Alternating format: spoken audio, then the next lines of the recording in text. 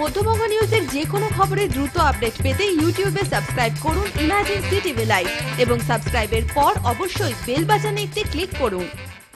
মুর্শিদাবাদ জেলার বিদ্যুৎ ব্যবস্থার বর্তমান পরিস্থিতি এবং সমস্যা নিয়ে প্রশাসনিক বৈঠকে বহরমপুরে এলেন রাজ্য বিদ্যুৎ দপ্তরের chairman cum managing director Rajesh Pandey DG CV Muralidhar. মঙ্গলবার বহরমপুরে প্রশাসনিক ভবনে জেলা শাসক ডক্টর পি উলগানাথন, জেলা পুলিশ সুপার শ্রী মুকাশের উপস্থিতিতে জেলার প্রতিটি ব্লক, মহকুমার এসডিও, বিডিও, জেলা পরিষদ কর্মকর্তা ও বিদ্যুৎ দপ্তরের কর্তাদের সাথে বৈঠক করেন।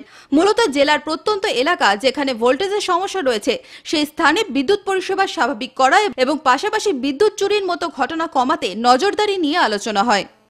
আজকে এখানে আলোচনা হলো বুকিং বন্ধ করা এবং লো ভোল্টেজটাকে ভোল্টেজ বাড়ানোর ব্যবস্থা। মূলত চুরি। এই চুরিটা বন্ধ করতে পারলে এবং হুকিংটাকে যদি আমরা বন্ধ করতে পারি, তাহলে মনে হয় এবং আমরা আজকের সিদ্ধান্ত না হলো যে যেখানে প্রচুর পরিমাণে বাকি পড়ে গেছে, সেই বাকিটাকে যদি কিছু ছাড় দিয়ে তাদের টাকাটা আমরা উদ্ধার করতে পারি, সেটাও আলোচনা। যদি মধ্যবঙ্গ নিউজের এই খবরটি ভালো লেগে থাকে, তাহলে অবশ্যই একটি লাইক দেবেন এবং ইউটিউবে ইমাজিন সিটিভি চ্যানেলটি সাবস্ক্রাইব করবেন।